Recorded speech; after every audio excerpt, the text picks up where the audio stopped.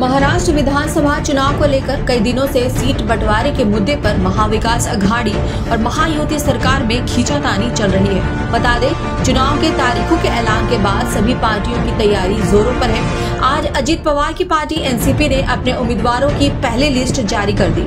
इस लिस्ट में 38 उम्मीदवार शामिल है। महाराष्ट्र के उप मुख्यमंत्री और एनसीपी पार्टी के अध्यक्ष अजीत पवार भी नाम इसमें शामिल है। अजीत पवार बारामती से चुनाव लड़ेंगे। साथ में छगन भुजबल, एओला और दिलीप वालसे पाटिल अम्बे गाँव से ताल ठोकेंगे। बता दें, महाराष्ट्र में एक ही चरण में 20 नवंबर को चुनाव होने हैं और नतीजे 23 नवंबर को आएँगे। इस बीच ये भी खबर है कि महाराष्ट्र नव निर्माण सेना के अध्यक्ष राज एस ठाकरे ने अपने बेटे अमित को माहिम विधानसभा सीट से पार्टी का उम्मीदवार बनाया है। बता दें, इस सीट का शिवसेना के तीन बार विधायक रह चुके सरवण कर चुनाव लड़ रहे हैं। ऐसा अनुमान लगाया जा रहा है कि ठाकरे परिवार से होने की वजह से उन्हें कड़ा मुकाबला का सामना करना पड़ सकता है। जैसा कि सभी को मालूम है कि महाराष्ट्र में ठाकरे परिवार का खासा दबदबा है।